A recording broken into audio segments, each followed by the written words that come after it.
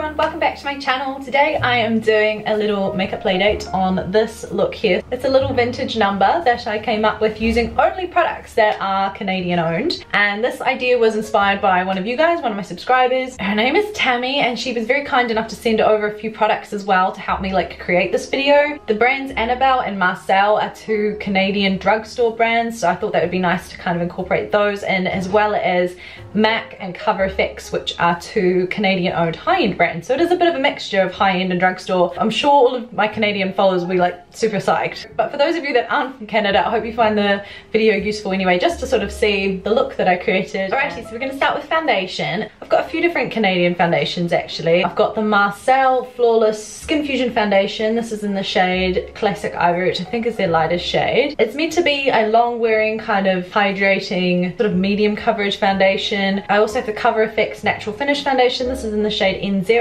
And of course I have a few MAC foundations as well. My favorite being the MAC Studio Fix Fluid in NW in C10 now. It's actually the shade I prefer. Um, and I also have these Cover FX custom cover drops, which I kind of thought I might maybe mix in as a bit of a kind of like glowy enhancer. I thought I'd show you the Marcelle one in action. Color of it though is a little bit on the deep side, so I am just gonna mix in a small amount of the Cover FX natural finish as well. And as I say, I'm gonna mix in just a little drop of the Custom Enhancer Drops. These are in the shade Celestial. This will give it a really nice glow. I'm just going to blend that in with my Ella Cosmetic Sponge. My tools today are not Canadian. This is an Australian brand actually but it's one of my favorite favorite sponges. The Marcelle foundation does have a really beautiful finish on its own. However, I did find the coverage to be possibly not quite enough for me, so I think adding in a bit of that Cover FX it's given me a pretty good sort of light medium coverage. It's a nice kind of neutral undertone as well. I just love the glow that these drops give. I really need to pull this out more to mix in with foundations. I quite often use it just as a liquid highlighter, but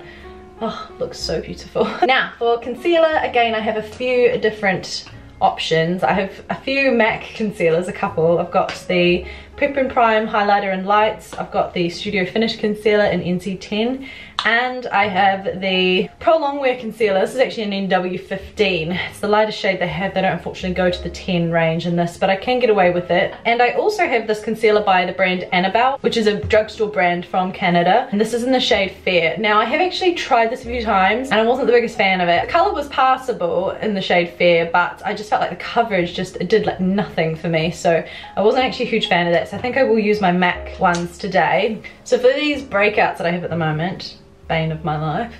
I'm going to use just a little like concealer brush and you really use it for everything. It actually often lives in my handbag. For under eye concealer I'm going to go in with my MAC Prep and Prime. This is definitely my favourite under eye concealer at the moment because it's just so lightweight. I'm not even sure if they make this colour anymore. This is literally just called the shade light. And I know they have like light boost or something and there's radiant rose which I used to use that color a lot as well. But those ones are more like correctors whereas this is like an actual concealer. So it's possible that they've discontinued it. I just want something that's nice and lightweight but actually has a bit of coverage as well. It's just so beautiful. For powder I realized I didn't grab out my MAC ones as well. But the one I'm going to use today is by Annabelle. This is the perfect matte powder. So this is like just one of those sort of HD transparent powders that is pressed. Quite mattifying. I'm only going to use this very strategically on the areas that I want to not highlight, e.g. my breakouts, and set that concealer in place because I have loaded up quite a bit of product. And I also like to put a little bit down here on my jawline because where my violin sits, this does help a bit to avoid my makeup coming off completely when I play. and then I just add a really small amount around the perimeter of my face just to kind of allow my cheek products to blend in nicely, but I don't want to touch the center of my face. You can see that I've still left that glow there because that's what I kind of want to maintain. I do have a bronzer from Annabelle which is called the Perfect Bronze. This is in the shade Sun Goddess. For me this color is just way way way too orange um, and the product itself is quite pigmented so I find it really difficult to work with. Um, I do actually have a MAC bronzer in a palette, but I think I might even just skip bronzer today. I kind of want to do a slightly more like vintagey look anyway. So I'm gonna, just gonna go straight in with blush. And I've got this MAC blush in Warm Soul. This is one of their mineralized blushes. It's just a really nice sort of neutral, gingery, peachy color. It almost looks a bit bronzy, so it really does help to like warm up the complexion. And I am applying it in a slightly more vintage fashion where you use it kind of like contour. It's sort of not done these days much like that, but that's kind of the look I'm going for. So I really love blush actually without bronzer because I think it can just look really fresh.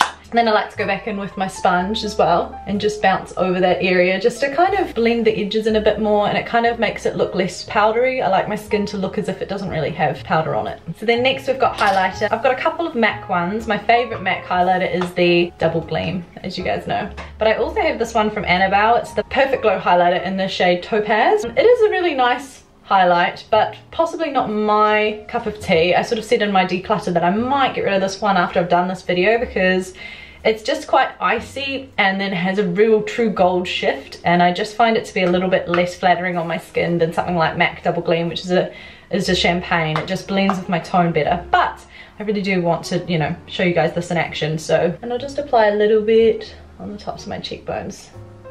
The skin doesn't even really need highlighter because it's so glowy. The thing with highlighters is that like a lot of them are gorgeous. This is, as I say, not a product that I dislike. I just prefer other ones in my collection. Just like I did with the blush, it's so important for me to go back and go over the areas that I applied that just to sort of merge the powder products in with my foundation. It's really hard to pick this up on camera and I'm looking at my face in the mirror. It almost looks like I've got really yellow toned foundation where I've put the highlight so that's kind of why this one just doesn't work for me. It just feels like it adds a real yellow cast to my skin. For brows I have some Marcelle brow products which I really really enjoy. So this is the Nano Eyebrow Liner in the shade Fair Ash Blonde. I really like the undertone of this one. It's quite sort of cool. It's very similar to like the Anastasia Brow Wiz or the Benefit, um, remember the name of it, but the skinny brow, it's a skinny brow pencil basically, so it's like super teeny tiny. That's why I like it, because I can get a lot of control, and the color is just amazing.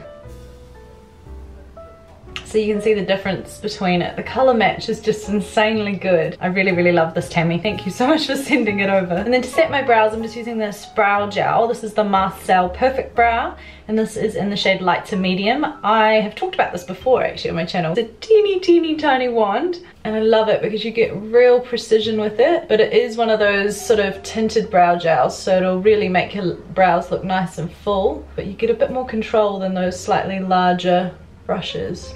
Then we have eyeshadow and Tammy kindly sent over a few different Marcelle eyeshadow palettes. These are like little quintets. Yeah, so there's one that's like a little bit more of a greeny kind of colorway. This one is like a smoky kind of cool toned grayish colorway and then this one is purpley. Sadly I didn't really enjoy these palettes. I felt like they were, they're just really difficult to work with. The shadows were super sort of crumbly and dry in general. Some were better than others. Um, one of my favorite one actually ended up being this one which I didn't expect because it's so sort of grey. However you can make them work if you do wet your brush so I've sprayed it with a little bit of Fix Plus. But I'm going to go in with this shade here which is like a really sort of nice smoky sort of taupe shade and you can actually do a really good like one shadow look with this. And this was one of the shades that was definitely a lot smoother than other ones. It didn't have as much sort of fallout and it blended a lot nicer. So I sort of like to pack colour on the lid. Then I'm going to go in with a tapered blending brush in that same shade and just sort of start to build up the colour through the crease. It does have a little bit of a sheen to it. It's not a completely matte shade, but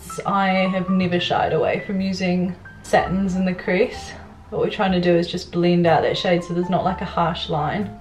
And then I've just swapped over to a slightly fluffier brush to even diffuse that further. Then I'm gonna take this dark liner color here. This is like a matte sort of dark gray. Oh, actually it might have some tiny flecks of shimmer in it, it was very subtle. And then a little pencil brush. And I'm just going to line my top lash line with that because I don't actually have a liner that is Canadian. Surprised I don't have a liner by MAC.